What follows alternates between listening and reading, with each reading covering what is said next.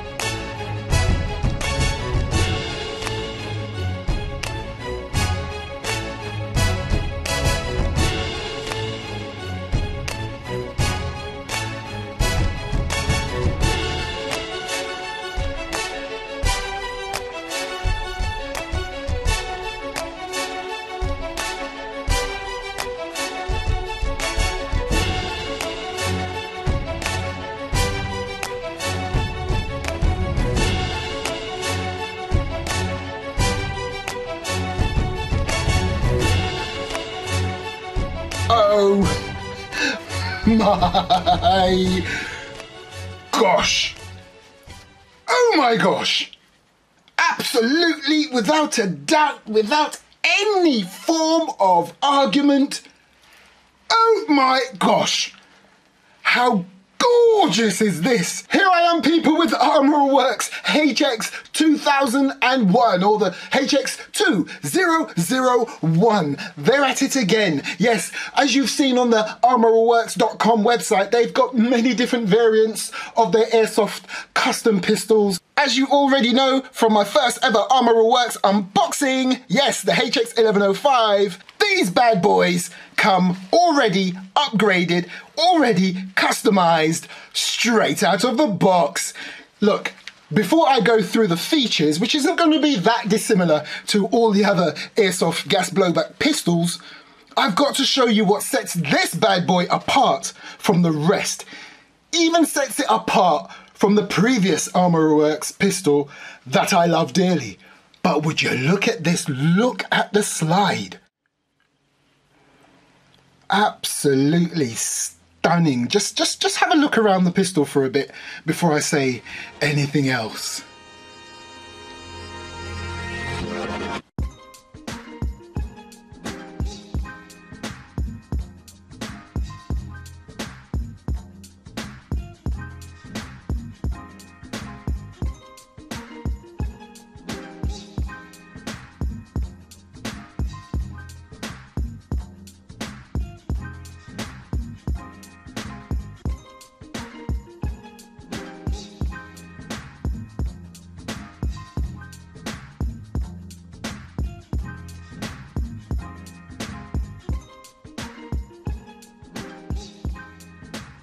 Right, so obviously the first thing I want to talk to you about is this absolutely stunning slide on the top. I'm loving how the slide looks vented. However, it's not the slide that is vented. It's so deceiving. This is so cool. And this shows you how much detail they have gone into. They could have easily made this part here, all of that right there. You see the gold section. They could have made that part of the actual slide. Now you're looking at it thinking, well, it is part of the slide. Well, it's not. Even when I start to pull the slide back, watch, watch very carefully. Can you see, look, the actual, that gold part there is moving with the slide. So you would think it is all part of the top slide. No, it's not. That's just the initial action. Look what happens when I pull it back further. It separates, look, it's actually part of the outer barrel. How gorgeous is that? Which also means the sight stays in the same place. The sight is actually part of the outer barrel. How awesome is that? This thing is absolutely, and I'll use this word one last time in this video, gorgeous. So let me just show you the side profile of this piece and I'm absolutely loving the color scheme that it has. So as you can see here on the side of the slide, it's this nice silvery gray effect right there. This is all metal, by the way. The, the entire thing is metal apart from your polymer grips. Right, so you got your silver side right here on the slide. Then on top of the slide, they could have just made that silver, but no, look, they've made it black. So that's a really nice contrast. And if you look in the little serrations down the side, same thing. Slide silver, but the little serrations or indents going down here are black. And that matches with the upper part of the lower frame. Then if you get to the rear part of the slide, similar design right here. And of course, these serrations right here make it a lot easier for you to rack the slide back. You get a really nice purchase on the pull right there. Now let's go to what's just above it, which is your fiber optic rear sight, which is adjustable, and you've got your front fiber optic sight.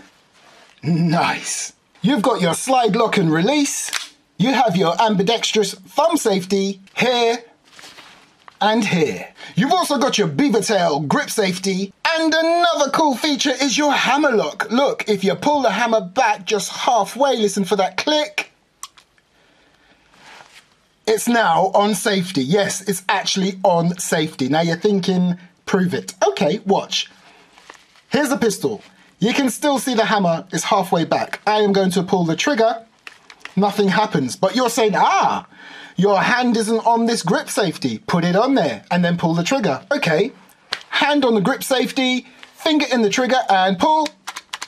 Nothing, absolutely nothing. That's fantastic. So it proves the hammer lock safety works. You've also got your beautiful gold mag release, this awesome looking flared gold magwell, and a very tactical textured polymer grip. And it's got a little bit of stippling right here at the rear. I'm absolutely loving the detail that Armorer Works has put into this pistol. Absolutely, I won't use the G word, amazing. Loving the red little accents that you've got all around the pistol. It's got your skeletonized hammer and a very unique looking Lego trigger. I mean, skeletonized trigger. And a scene during the unboxing sequence. This also comes with your little mount plate right here with a couple of screws and your magwell pin.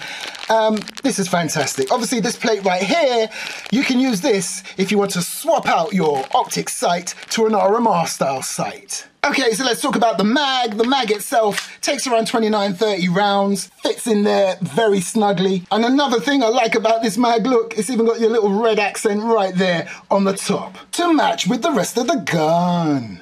Absolutely loving the detail they have put into this airsoft pistol. Just look on the inside of that outer barrel right there. Look at that. Nice. And you've even got your standard 45 ACP marking on the outer barrel just there. And look, the nozzle is red, matching the top of the mag. Oh, and of course, it's hop up adjustable. And you'll never guess what? There's a double barrel version of this bad boy.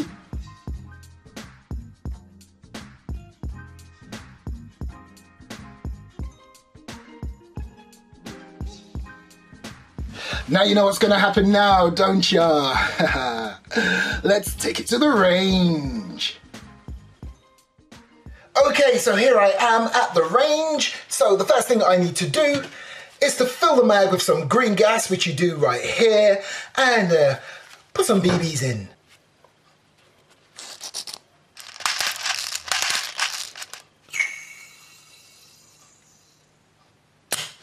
So the first thing I'm going to do is an accuracy test with my new target system right there, the Valor target system.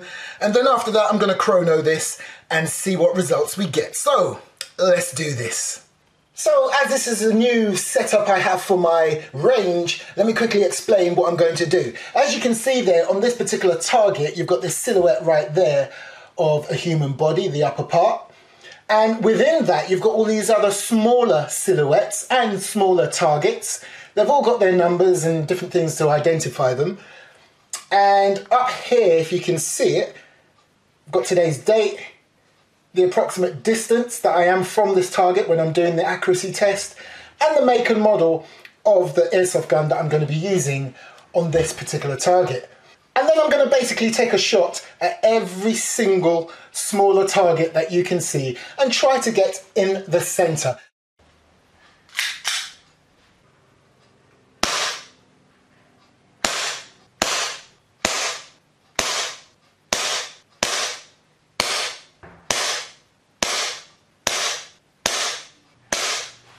And for you eagle eyes out there, yes, I know, I took a second shot at that lower center target. Okay, so let's have a look at the results. Now remember, I was a good 35 plus feet away from the target. Now on the head there, as you can see, I just got just on the outside there. I think that's not bad at all. Considering how small this target area just here is, I would say that's about two and a half inches from side to side did a little bit better there, just hitting just outside the center of that target there. Let's go down further and that's where the success started to happen because as you can see there, I hit center mass right there, go down the bottom and just on the edge of the center there, outside of the center. This one, not as good, look, it's right there on the side. Down here, as you can see, look, right there on the number two circle. Uh, I think we've already looked at that one. Look on here, just outside the center, right there. So overall, from a distance of about 35 feet plus, and remembering that each of these tiny little targets within this major target, they're only about ooh, two, two to three inches max in size. I think that's pretty good. And I haven't even adjusted the hop up on this pistol. I'm firing at this target using a pistol straight out of the box.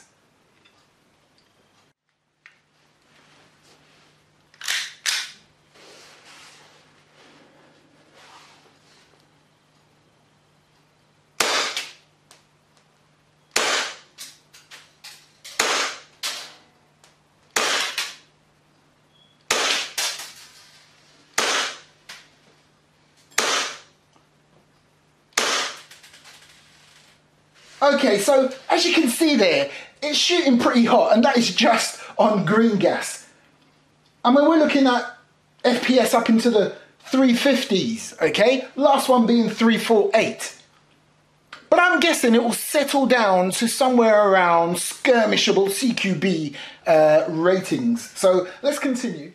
And do remember, your environment, the temperature of where you are will also have an impact in how your gas airsoft pistol or rifle performs. For example, right now in London, we are experiencing some high summer temperatures. So all these sort of gas guns and rifles, they work perfectly. And as you saw in the initial chrono test, the FPS ratings was way high. And then it started to settle down into your 330s as the mag gets colder and colder. Okay, so I'm going to do a bit of rapid firing because, you know, these Armorer Works pistols are supposed to be fully upgraded out of the box, so they are actually competition ready. You may have to just retweak the uh, hop up or so, but yeah, so let's see how responsive the trigger is. So uh, here goes.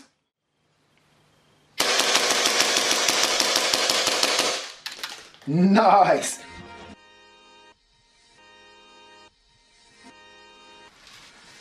I'm Airsoft Mike, and boy do I approve this Armorer Works HX2001.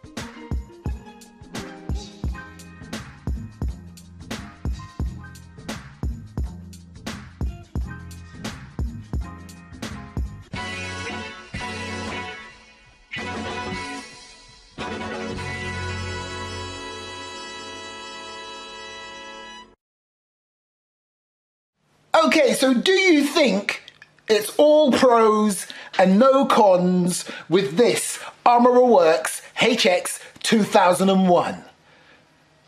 Well, I pride myself on being honest and as honest as I can possibly be, and I'll tell you this.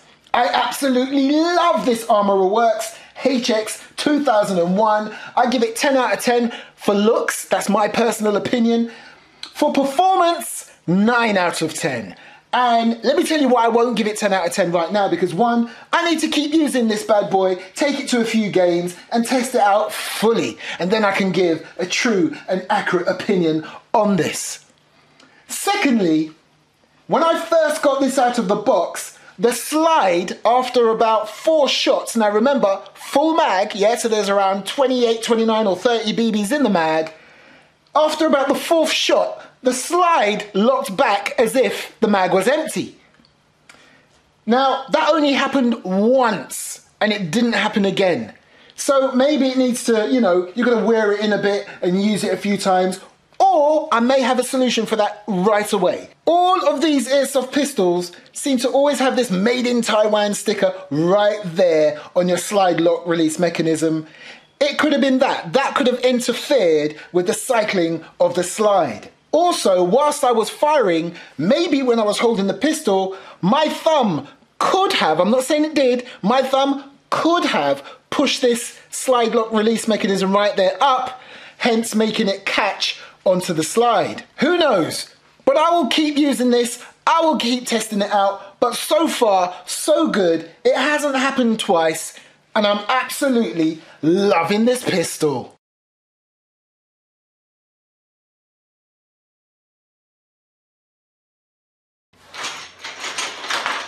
Lego.